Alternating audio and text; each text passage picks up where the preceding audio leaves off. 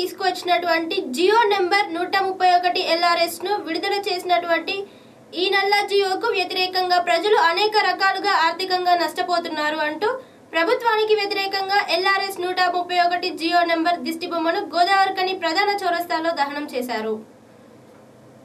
ఈ సందర్భంగా సిపిఐ రామగుండం నగర సమితి కార్యదర్శి కె కనకరాజ్ సహాయ కార్యదర్శి మద్దల దినేష్ రాష్ట్ర నాయకులు గౌతమ్ గోవర్ధన్ మాట్లాడుతూ కరోనా వేళ ఆర్థికంగా చితికిపోయిన సామాన్య ప్రజలపై ప్రభుత్వం ఉప్పెన లాంటి ఎల్ఆర్ఎస్ను పెనుభారాన్ని మోపడం సిగ్గుచేటని అన్నారు. ఎల్ఆర్ఎస్ నూట ముప్పై ఒకటి జియో సామాన్య ప్రజలకు పెనుభారంగా మారిందని విమర్శించారు. పన్నుల పేరుతో రాష్ట్ర ప్రభుత్వం ప్రజల వెన్ను విరిచే విధంగా ప్రయత్నిస్తుందని ఆరోపించారు.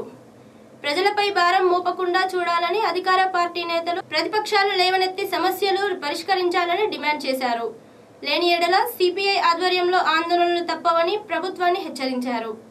ఈ కార్యక్రమంలో సిపిఐ ప్రజా సంఘాల నాయకులు టి రమేష్ కుమార్ కందుకూరి రాజారత్నం రేణిగుంట్ల ప్రీతం ఈర్ల రామచంద్ర వనపాకల విజయ్ గాడప శ్రీకాంత్ తదితరులు పాల్గొన్నారు. వ్యతిరేకిద్దాం నూతన జీవో నూట ముప్పై నూతన జీవో నూట ముప్పై ఒక్కటిని. ప్రజలపై మోపుతున్న ఎల్ఆర్ఎస్ను వెంటనే. ప్రజలపై భారం మోపే ఎల్ఆర్ఎస్ నూట ముప్పై ఒకటి జీవోను వెంటనే. ఎల్ఆర్ఎస్ నల్ల చట్టాన్ని. ఎల్ఆర్ఎస్ నల్ల చట్టాన్ని. రాష్ట్ర ప్రభుత్వం ఉండి వైఖరి. ప్రజలపై భారం మోపుతున్న ఎల్ఆర్ఎస్ నూతన చట్టాలపై అధిక భారం మోపుతున్న ఎల్ఆర్ఎస్ నూట ముప్పై ఒకటి జీవోను వెంటనే రాష్ట్ర ప్రభుత్వం ఉండి వైఖరి. పోరాడదాం పోరాడదాం ఎల్ఆర్ఎస్కు వ్యతిరేకంగా ఆర్ఎస్ నల్ల చట్టాన్ని వెంటనే భారత కమ్యూనిస్ట్ పార్టీ రాష్ట్ర ప్రభుత్వం వైఖరి. నల్ల చట్టాన్ని నల్ల చట్టాన్ని భారత కమ్యూనిస్ట్ పార్టీ ప్రజలపై భారం మోపే ఎల్ఆర్ఎస్ నూతన నల్ల చట్టాన్ని నూట ముప్పై ఒకటి జీవో నంబర్ వెంటనే నూతన నల్ల చట్టాన్ని. నూతన నల్ల చట్టాన్ని. నూతన నల్ల చట్టాన్ని. పోరాడదాం పోరాడదాం ఎల్ఆర్ఎస్ వ్యతిరేకంగా. పోరాడదాం పోరాడదాం తింటున్న కంచాన్ని గుంజు ధరలు నోట్ల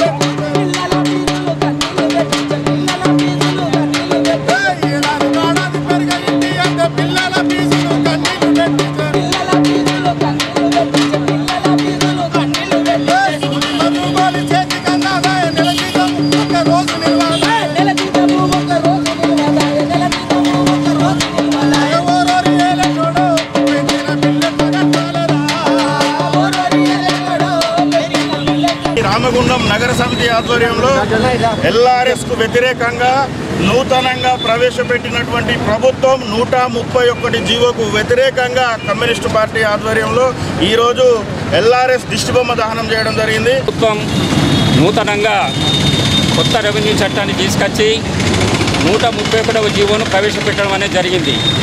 ఈ నూట ముప్పై ఒకటవ జీవో ప్రకారం ఏదైతే భూములు కొన్నటువంటి వాళ్ళు ఇంతకుముందు కొనుక్కొని పెట్టుకున్నటువంటి వాళ్ళు రిజిస్ట్రేషన్ చేసుకున్నటువంటి వాళ్ళకు కూడా ఈ నూట ముప్పై ఒకటవ జీవో ప్రకారం అనేకమైనటువంటి ఇబ్బందులు ఏర్పడుతున్నాయి.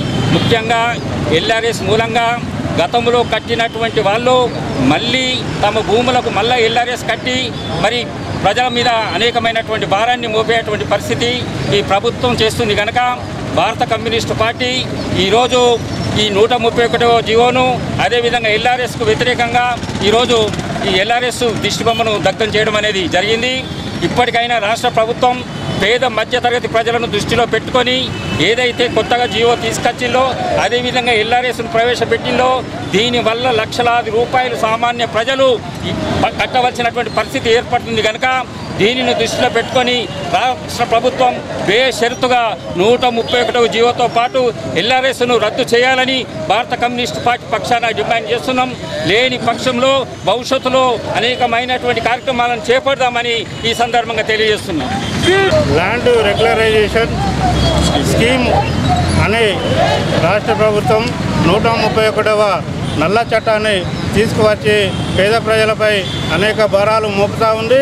ఈ చట్టానికి వ్యతిరేకంగా సిపిఐ నగర సమితి ఆధ్వర్యంలో ఈరోజు పోరాట కార్యక్రమాన్ని తీసుకోవడం జరిగింది.